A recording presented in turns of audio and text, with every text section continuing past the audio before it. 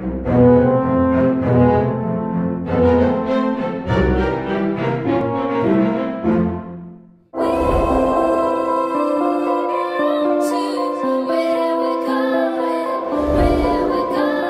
we're here for the Born in China premiere. It's great. Uh huh. Now, before we get to Born in China, a little bit about Mech X4. How is that going for you? Mech X4 is great. Uh, we just finished season two up in Canada, which is phenomenal. And um, we're having so much fun. We're having a blast as a cast, and we're just here to support our show and Born in China. Born in China. Now, this one is about pandas.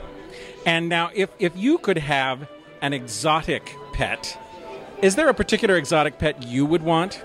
Oh, I'd definitely go for monkey. You know, classic, because monkeys are awesome. Or an otter. Otters are freaking amazing to me. They're just the f- friendliest creatures. It looks pretty fun to have. Now, now, I'm assuming you don't have a monkey or an otter. Do you have a pet?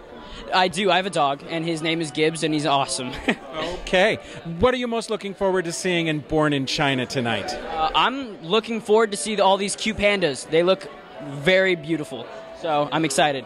Okay. Well, let you go see the pandas. Thank you. Thank you.